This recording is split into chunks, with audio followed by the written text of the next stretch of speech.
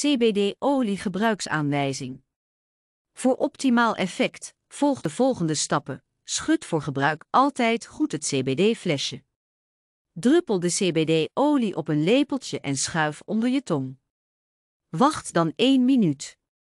Slik de olie daarna door. Je kunt je mond eventueel naspoelen met wat water. Dit is niet verplicht, maar kan het aangenamer maken. Meer weten over CBD-olie. Download nu het gratis CBD-handboek op cbdhandboek.nl.